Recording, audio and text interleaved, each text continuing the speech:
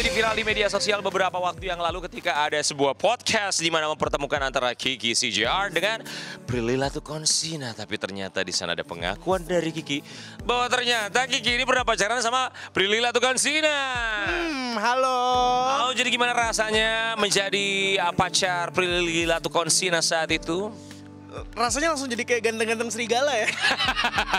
Tapi uh, akhirnya itu berapa lama sih pacarannya? Seminggu. Sedih gak? Setelah kita bahas tadi panjang, cuma seminggu. Les nyetir aja tiga minggu loh butuhnya. Ini cuma seminggu. Dapat tim lagi tiga, tiga. Dapat SIM. Uh, putusnya karena apa ya? Sih gara-gara dia terlalu cuek waktu itu. Dia terlalu cuek atau dia akhirnya sadar? Akhirnya dia sadar kayak, ih ngapain nih aku pacaran sama dia? Kayaknya mendingan putus deh. Maksudnya sadar aku masih terlalu kecil gitu ya. Jadi apa karena apa sih putusnya?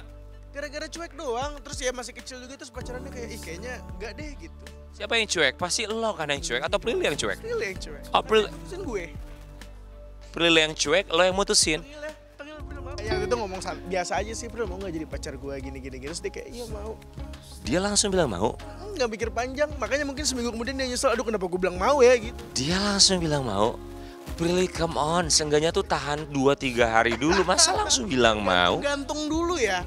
Ada perasaan-perasaan, ih kayak gue gak mau deh gitu. Kita gantung-gantungin Kiki dia udah mantep banget sama lo.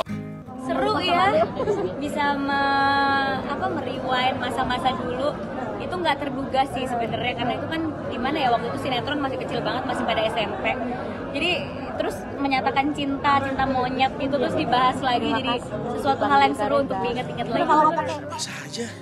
Aku aku orangnya nggak baperan soalnya, jadi ya kalau digitu-gituin nggak. Tapi kan dia bilang nggak ngerasa karena dia apa sih ngomongnya bahasanya iya gitu, ya gitu-gitu aja sih. Jadi nggak baper. Tapi ya tega juga sih lu. Sejujurnya lu tega sih. Maksudnya ya oke lah.